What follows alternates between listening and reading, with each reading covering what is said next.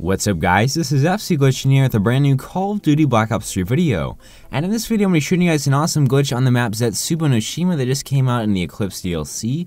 And it's going to be how to get unlimited ammo on the skull, and it's not too hard to do, but the first thing you have to do is obviously have the skull in your inventory, and once you've got that, head on over to the altar and you want to make sure that you've completed the second challenge.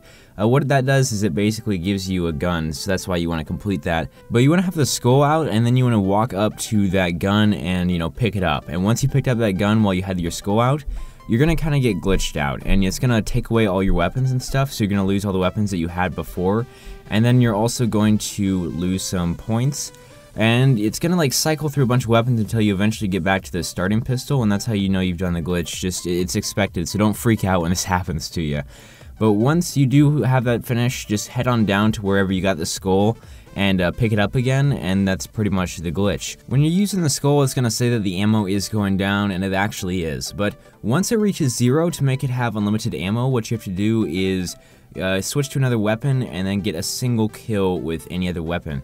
And then once you switch back to the skull, you'll have that full 100 back again and you can continue using it and just repeat that cycle and you basically have unlimited ammo. It's it's really overpowered and I'd assume that this glitch is going to get patched pretty soon. So if you want to use this, use it now and get high in the leaderboards using it uh, because it won't be too long before Treyarch patches this. But anyways, I hope you guys enjoyed the video. If you did, I would really appreciate it if you guys could leave a like on the video and comment down below and tell me what you think about it. Also, make sure to go ahead and check out my second channel, Trend Crave.